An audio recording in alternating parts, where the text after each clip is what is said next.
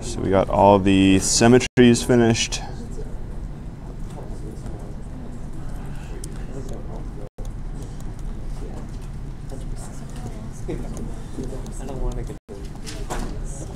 So there are a lot of identities we're not going to use. We're just going to go with the three Pythagorean identities you've seen.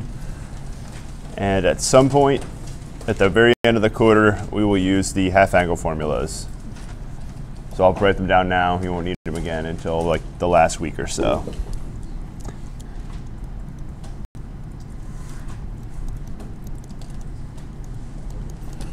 So first one, Pythagorean identity, cos squared plus sine squared equals 1. Tangent squared plus 1 equals secant squared. And cotangent squared theta plus 1 equals cosecant squared. These can be a little bit tricky to remember.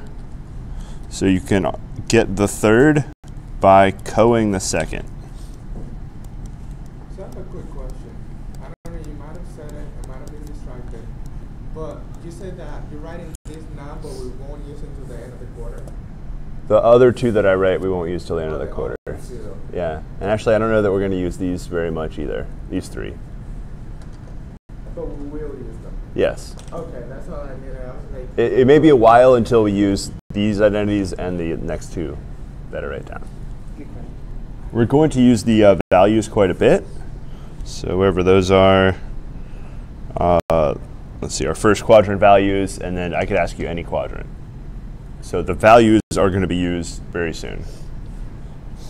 But in terms of the uh, Pythagorean identities, we won't use those for a while.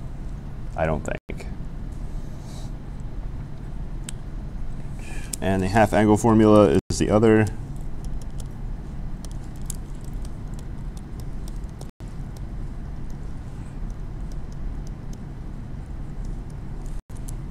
And that is cos squared theta equals 1 plus cos 2 theta over 2. And the other one is sine squared equals 1 minus cos 2 theta over 2.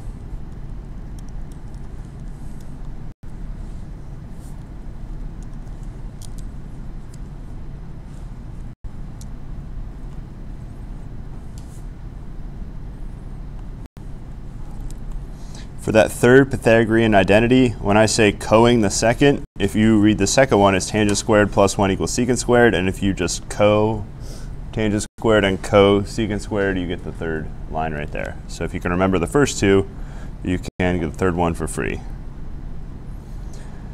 Now we're going to look at some inequalities that we have not looked at in pre-calculus.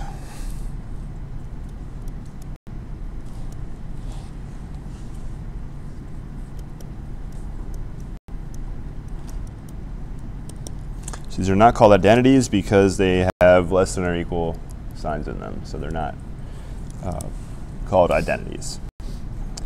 So for any angle theta in radians, I think I said we're going to use radians almost the entire quarter, so you can always assume angles are in radians unless it says degrees. So here are two identities.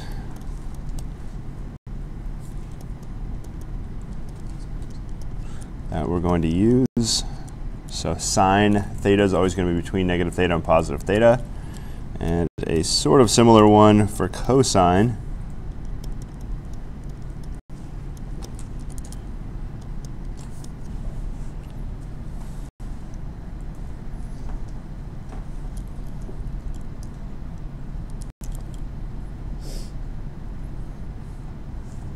So there are some obvious aspects of these inequalities that, or some obvious values of theta that these will be true for. What is the absolute biggest sine theta is ever going to get?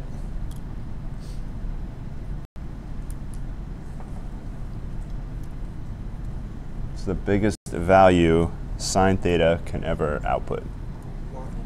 one. 1.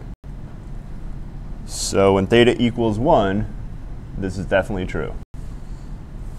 And the same thing is true when theta does negative 1. or this, the smallest sine can ever be as negative 1. So it's true when theta is bigger than 1 or equal to 1. It's also true when theta is less than uh, negative 1. So what about in between? All we really have to worry about is quadrant 1 and 2. That's where theta is between negative 1 and 1. So why is that? Just think pi over 2 is approximately about 1.57. All right, something like that. 3.14 cut in half is close to 1.57. And negative theta over 2 is close to negative 1.57. So where's positive 1 and negative 1? They'll be somewhere right about there. Not quite 1.57. So we only really need to worry about quadrant 1 and 4, where theta is close to 0. So let's look in quadrant 1 and 4. What in the world's going on with this inequality?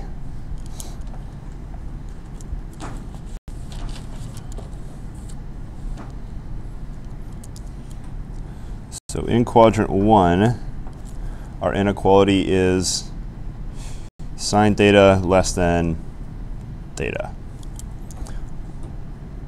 So we're going to draw in some measurements here. What does sine theta measure on this graph? Course, theta is going to be the angle that we're rotating. What does sine theta measure on this graph?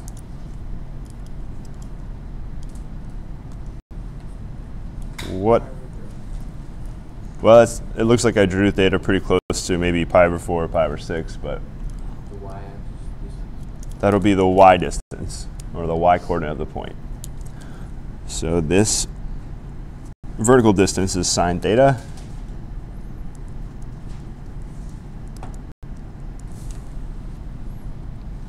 And let's think about theta itself. We usually, we're used to thinking of theta as an angle. But when we measure in radians, the angle is the same as the arc length, the length of the curved part right there. So that curved arc that I drew in green is actually theta, the length of that curved arc is theta. Which one is bigger, just using intuition? When theta is positive in the first quadrant, one of these is obviously bigger than the other. Theta is bigger, goes the same vertical distance, but it has a little bit of horizontal movement as well. So it's always going to be a little bit bigger. Uh, the only time they're going to be equal is when theta actually equals 0. They'll both be 0 in that case. So right from this graph, we can write down sine theta less or equal to theta when theta is between 0 and we don't need to quite go up to pi over 2, but it would be true if we went all the way to pi over 2.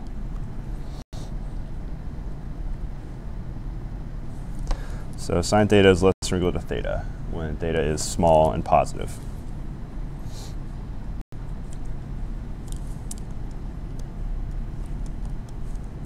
Let's look in quadrant 4 now. So when theta is between negative pi over 2 and 0, we'll do something very similar down here. I'll use the same colors. Make the angle a little bit different sized. We'll go right to here. That's theta.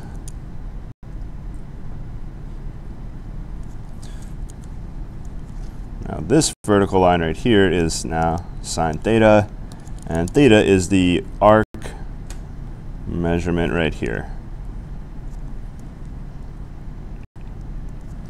And just looking at this, we get something similar, except our intuition's a little bit off. We want to say, at least I want to say that theta is bigger than sine theta. But the problem is they're negative. So you, it's true that absolute value of theta is bigger than the absolute value of sine theta. And that's the way we want to think here. So let's write absolute value sine theta less or equal to absolute value of theta. absolute value is useful here because I don't want to think about negatives because the bigger negative is actually less. So we'll just write in absolute values. And then we can just look at length instead of worrying about, oh, it's going down instead of going up.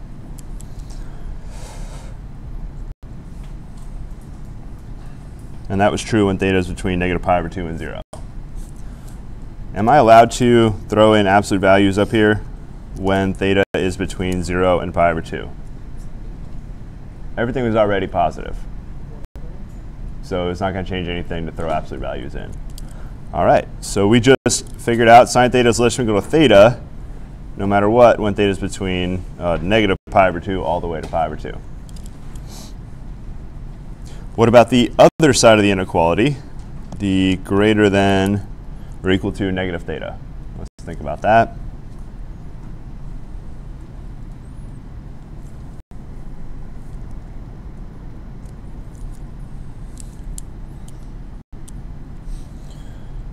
So this we can do with some algebra. So I'll do a really fast algebra review on inequalities.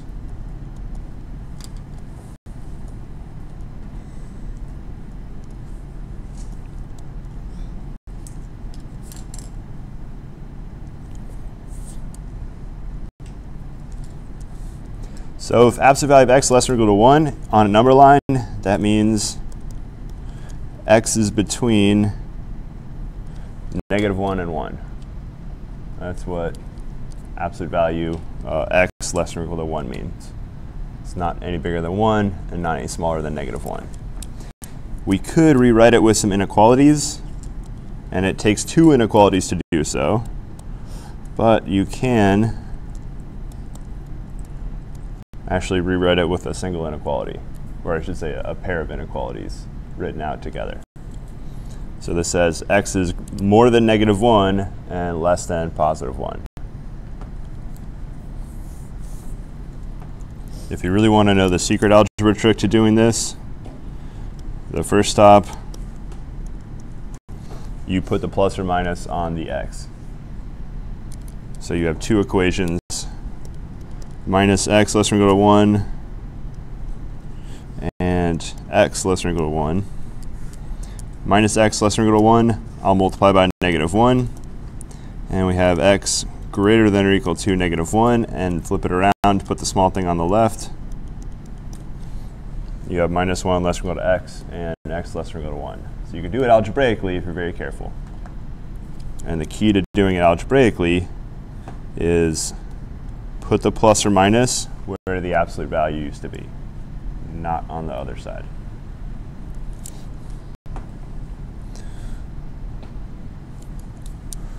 Oops, that back on the screen. All right. So now, that was all a review. Now we're going to summarize all this, both of these. So when theta is between negative pi over 2 and pi over 2, we get sine theta absolute value less than or equal to absolute value theta. I want to eliminate the absolute value on the sine theta. So I have plus minus sine theta less than or equal to theta. So we have two inequalities, negative sine theta less than or equal to absolute value of theta, and sine theta less than or equal to absolute value of theta.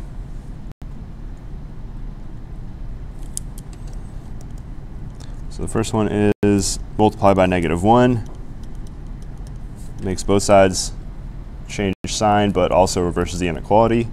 And writing the little one on the left.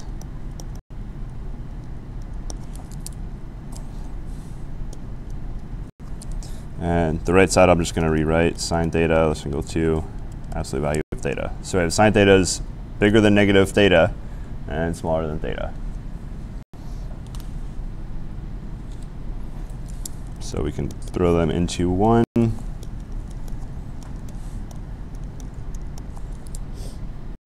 And we have that.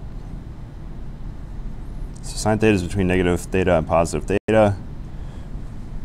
And that will show our first inequality right there. So it was already true when theta was big. So we just showed for theta small.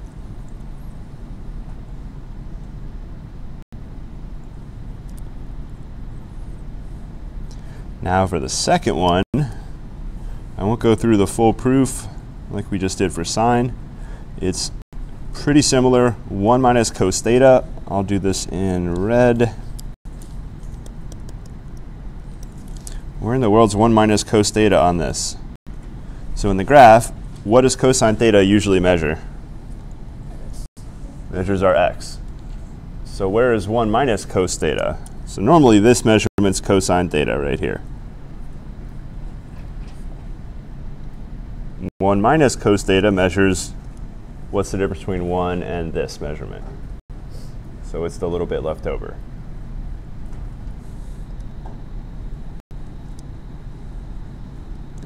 So this little measurement right here